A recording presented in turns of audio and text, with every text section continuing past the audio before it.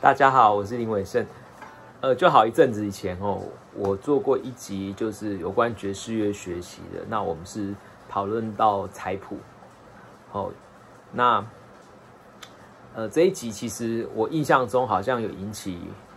一些人的回响，就是可能是脸书上的朋友之类的。那因为主要看我的这些讨论这些。影片的人，我相信应该大部分还是都是台湾人嘛。那台湾其实是一个小小的岛的国家，人也并不是很多，然后我们这个圈子也很少，呃，很小很小。那当然，呃，有引起一些讨论，一些回响。那我相信我讲的话，很多人不同意，也很多人同意。那基本上，我这个我那个时候那个影片，其实。并不是叫你呃，第一个我们并不是叫你说哦，你要去采谱，然后也不是叫你不要去采谱，哦，我并没有提供一个一定要怎样的答案，我只是那我当然呃，我我有试着去解释说，我认为的，我认为的所谓要采谱的人或所谓不采谱的人。那他们是完全对立的吗？呃，我认为不是。哦，我现在讲的是会弹的这群人哦，就是如果说你去问一些很厉害的乐手，有一些人的呃学习过程他有彩谱，有些人并没有嘛。那我现在讲的，我们就是如果说是殊途同归的话，我们都到一个会谈这个结果了。好，那。我现在是讲会谈这群人，就是说他们到底有没有什么共同点？我相信有很大的共同点，就是说你我们不管做什么事，我们都是要达到同样的结果。哦，会谈这不是一是一个程度的展现，是一个耳朵有没有听到，耳朵有没有办法很随手弹出对应的句子，合于和声的，不管是合于和声的，合于节奏的。哦，那这种东西真的是一翻两瞪眼，他没有办法说，我今天我们今天每天练琴十个小时、十五个小时，或者是什么我踩了几百首谱，这跟那个东西没有一个相对的关系，它其实就是一个程度上的东西。那我呃，我之前有讲过，就是殊途同归哦，我们到底呃得到那样的结果，到那样的境界的人，到底。呃，到底他的那个有什么共同点？哦，那其实在我看来，共同点是蛮多的。就是我们到底要做什么事，可以让我们的耳朵，呃，真的打开，慢慢的打开，然后听到那些和声。好，那我那那一集的影片，我自己也有提供，呃，就是我自己的呃的学习过程嘛。那我就说我并没有采谱，我没有在采谱的，哦。那，呃，我个人认为，好像彩谱这个东西，特别在台湾的话，我不知道，呃，其他的国家是怎么样。那台湾，台湾这大概二十年来，其实出国学爵士乐的人也蛮多的。那我相信很多人可能都受到他们的学校的老师，他的主修的老师的影响蛮大的。哦，作为。有可能老师规定你一个学期要采集首谱，或者是规定你要做什么事情，我相信有一些人就会把它当成金科玉律。哦，那不，那会产生相应的结果，就是说，如果今天有人跟你讲的是不一样的，你有可能会，呃，会否定，你有可能会排斥。那，呃，在我看来，就是说。呃，我们要的是这个结果。讲难听一点，就算你每天，你今天跟我说，我每我会弹很好的的秘诀是每天在家里面睡二十小时的觉，我睡醒来就会弹得好了。那我觉得那也 OK 啊，你有办法证明你自己讲的。如果你今天是真的是是一个蛮厉害的乐手的话，那我们要的是这个结果，殊途同归嘛。我刚刚讲的那。你呃，那如果是一个是财谱，一个是每天睡觉，那嗯，你不能说我每天我以前在学校念我的什么硕士，念我什么学学位的时候，我老师规定我一个学期还是每个月都要采采一首谱，要去分析它什么的，然后你就会去说那些睡觉的人讲话跟屁一样，不是那样。这我觉得是错的哦，因为因为因为方法可能有百百种，但是我们要去的境界应该还是一样的。好，应该还是一样的。那我自己觉得说，呃呃，就是说这个东西不同做法的人有不同的共同点。那我今天。呃，很多人可能觉得这个之前讲那个财谱已经结束了，事实上我也觉得结束了。不过我私底下有稍微呃想这些问题，因为我发现有一些人好像诶反应有一点大，我不知道，就是说不知道是不是跟我们台湾从小受的这种教育有关系，因为台湾其实毕竟还是一个诶一个。一个服从文化，尤其是在我小时候那个时候，因为你知道，小台湾一九八六年才真的解严，之前的话，其实很多思想都是一元化的。我们其实跟集权国家不会差很多。然后二方面就是说，呃，我们还是被儒家思想影响很深，所以其实有时候老师占有一个很很很。很令人尊敬的地位，所以有可能就是我相信很多人老师说什么，你就会觉得一定是那样，而且那是唯一的答案。那我是觉得，我在我看来，我是倾向于其实大家都是一样的，就是说不没有什么老师不老师这种这种东西哦。呃，原则上来看，其实我家里面的 CD 每一个人都是我老师，是我学习的对象哦，不不限于那我今天可能以前在学校跟谁上过课。我我听到他们对某一些事情、某一个主题的看法，那他们有他们的想法，那但但是也不见得他们会去否定别人啊，也不见得他们会说是怎样，他们只会是他说他们的想法是怎样。哦，我举个例子来说，我带呃我念硕士的时候，跟两个贝斯手，我学校里面有两呃不同的学期，我跟两个呃贝斯手学过，这两个都是真正会弹的，因为其实学校里面有很多其实。我认为不管任何国家啦，哈，呃，学校里面还是有相对一部分，尤其是你去那一种比较小的城市，有些人老师真的就是比较像是老师，他不是真的可以直接上场跟人家打架。我们现在是在打，不是你，呃，我们现在要找的是真的可以上场马上打的，没有那么什么排练的，没有什么套招数的，真打直接上去打。我们要讲的是真正的 player，不是那种学校教授老师那一种的。那很多可能可能他们的老师并不是真的会打的，但是我很幸运的，在我学校里面这两个主修老师真的都是会打的，真的是 player。因为呃，第一个老师叫 Todd Kuhlman，第二个老师叫 Dennis Irwin。那 Todd Kuhlman 的话是呃，他以前是 Harry Silver Big 呃 Quintet 的贝斯手，他是 James Moody Quartet 的贝斯手，他是 Carnegie Hall。Jazz Band 贝斯手，他是 John Faddis Quartet 的贝斯手。那 Dennis Irwin 不要讲，Joe Lavano Non-Net 的贝斯手呃 Vanguard Jazz Orchestra 的贝斯手，John Scofield 好几张 CD 的贝斯手，Art Farmer 的贝斯手。我跟这些人都是真的会打的。那比较有趣的就是他们， 他们两个人其实都跟我的背景类似，因为我，呃，我没有他呃 Todd 的话，他我记得他一开始是。念先念牙医，他是念牙医，然后后来去念古典，所以他这辈子没有真的去什么爵士学校。那 Dennis Irwin 的话，他大学念他，我记得他只念一年，他是学竖笛的，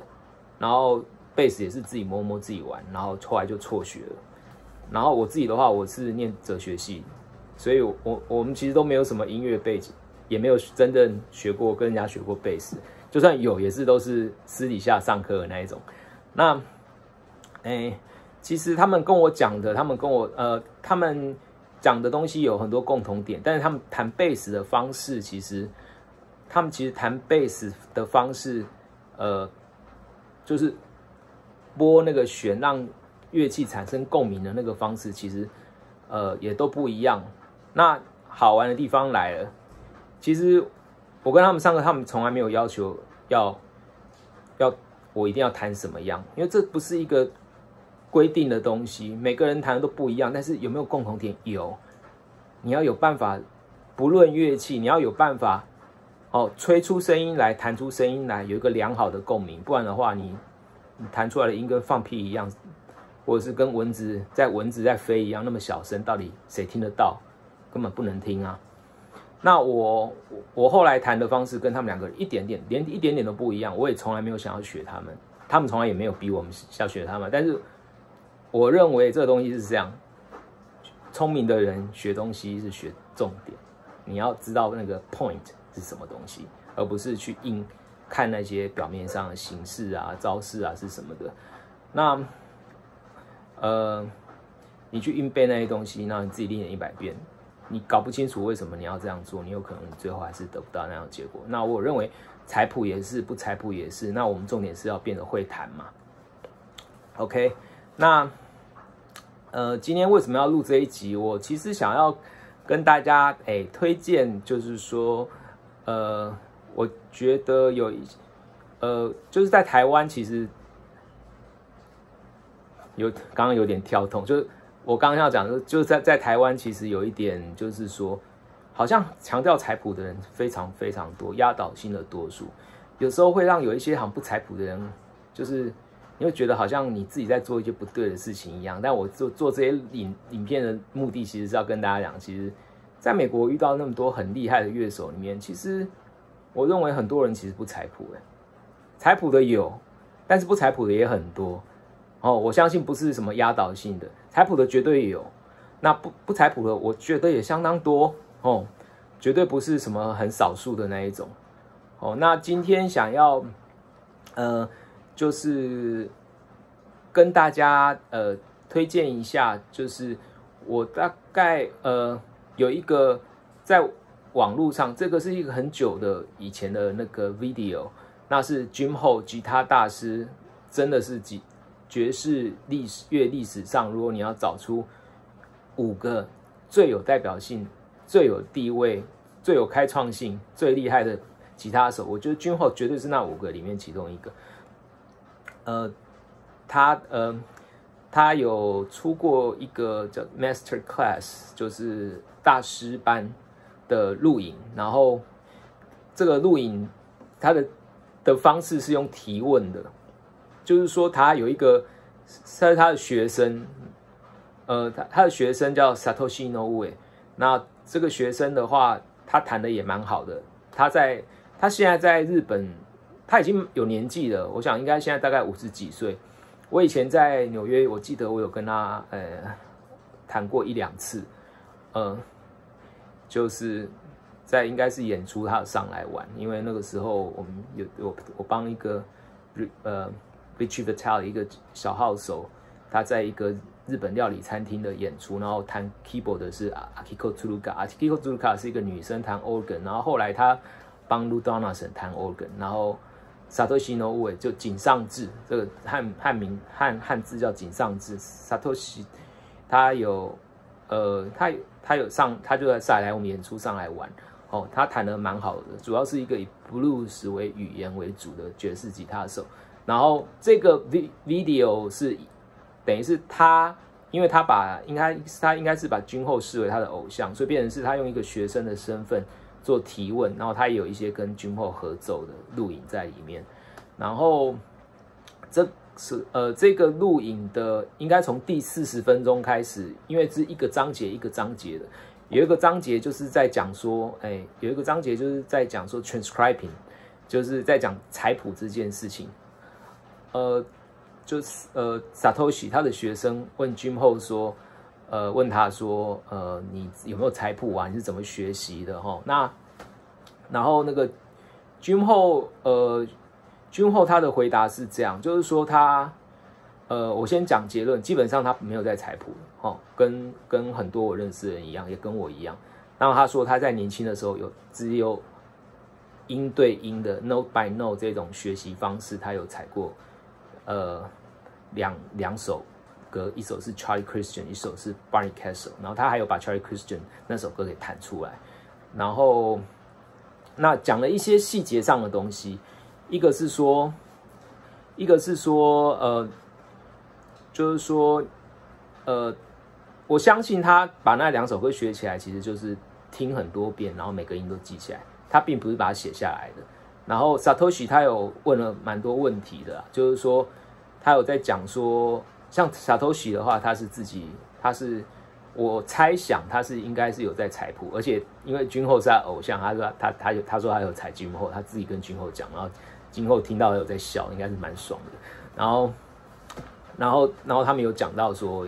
呃，其实呃，比如说他有举到一个例子，就 Mike Stern，Mike Stern 他也是很爱采谱哦，然后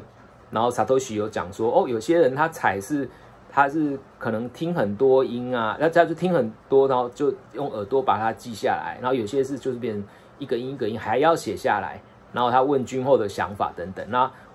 我呃我会在留言处放上这个影片的连接，那你们可以自己去看。因为大概从四十分钟开始，但是我觉得整个影片是蛮蛮好的一个影片哈，可以会让人家有很多启发一些东西。然后君后大概就讲到说哦呃其实。呃，跟跟我认识，跟跟我自己也是有点像啊。就是说，他说哦，他听一些东西，然后因为我他说是一个语言嘛，这个我以前就有讲过，就是说大家都很多有名的老师都跟你这样讲，那就是他讲是语言，我们在学一个语言，爵士乐在学一个语言，然后我们会有一个呃，好像一个模仿的过程，然后那到底是什么样让你会讲这个话？哦。那什么样会讲那个话？那我猜有些人搞不好小时候会有些家长会叫你去背那些什么唐诗三百首还是三字经哦，那一种就是你把它想成那到底是不是彩谱？可能是因为你每个字每个字都要那边无意义的背诵，你知道吗？然后然后那有些就是就是模仿啊，就是你就是一直讲话一直讲话一直讲话，然后慢慢你会建立起那个语感，就什么东西是代表什么。就我自己。有在之前的影片讲过很多这样的例子，因为它真正是一个语言呐。然后 Jim h o s 有大概讲到说，哦，他可能听到，哦，我不采谱啊，他他不采谱，但是他，我我我会觉我我没有办法代表所有不采谱的人，但是我会觉得说，我们都是在学习这个东西，都是在求这个道嘛。然后，呃，我们一样都是有一个殊途同归的学习方式。那像他说，我们呃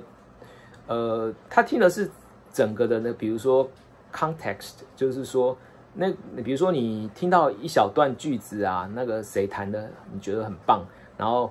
你大概知道他用的是什么和弦，用到什么音，然后你自己可以，你真的听得懂那些东西。你第一个你觉得好听，第二个你觉得你听得懂，这语汇上在呃理论就用到什么和声，用到什么音是什么意义，那你自己就可以举一反三了啊，所以。那些东西都是活的，不是说你要每个音每个背起来。比如哦，我随便举个例子，我随便举个例子哦，比如说，呃呃，比如说这是一个很简单的，有有和弦、有有有旋律、有有 top note 的东西，就是 D minor G seven，还有 C major seven 哦。好，对不起。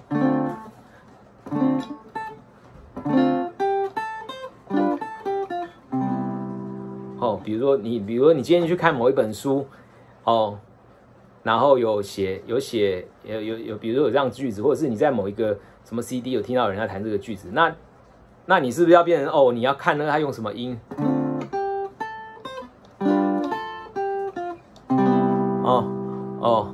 应该我我觉得这样子学其实蛮蛮蛮蛮蛮蛮不 OK 的。那我觉得你你应该是去。就是看一下，说哦哦，这是这个哦 D minor，我们用到这个音，那我们用的和弦是什么？所以我们可不可以用同样的和弦放不同的旋律音上去？比如说，哦，你可以有很多种做法。对不起。哦之类的，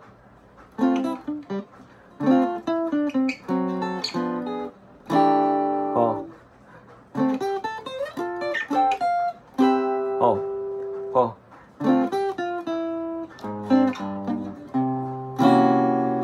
比如说有很多不同的这样的东西，你可以去举一反三嘛，对吧？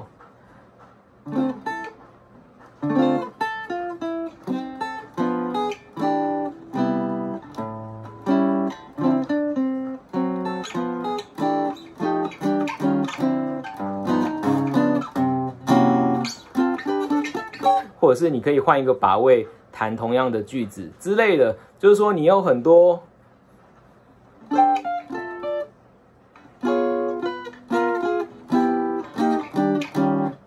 之类的，就是说你用同样的节奏的方式，然后换上不同的音啊等等啊，同样的和弦，或者是同样的和弦加不同的 tension 哦，比如说 D minor seven 变成 D minor 九之类的，就你耳朵听到的东西，你都可以举一反三，举一反三，大概是这样子。那我觉得这些你你一样是做在做一个模仿的过程，只是说你在这个过程里面。你其实是生出来是你自己的东西，因为谱不是这样写的。你是你自己耳朵听到的东西，然后其实是一个，呃，是一个你自己也会记得牢牢的在你记身体里面，因为你不是去记上谱上面写的东西，而是是是你是你自己脑袋生出来的，你是已经有办法生出自己的语言。然后别人可能有一句例句，可是你现在用你自己的方法表达同样的意思，大概是这样。好，那呃，这个影片有一点过长了，那我今天是分享到这边，那我会附上这个影片的呃 Dream 后那个 Master Class 的连接，那呃大概是从四十分钟第四十分钟开始，你们有关 Transcribing 这个东西，呃，你可以去看一下，然后看看你们自己有什么想法。那我觉得。呃希望对你们会有帮助这样子。哦好谢谢大家谢谢。